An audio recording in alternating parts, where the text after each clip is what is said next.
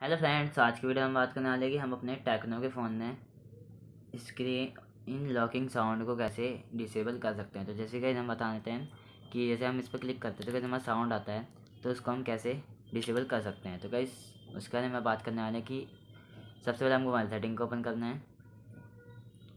Gas mobile setting option पर click करने के बाद आपको ऐसा इंटरफेस दिखाई देगा।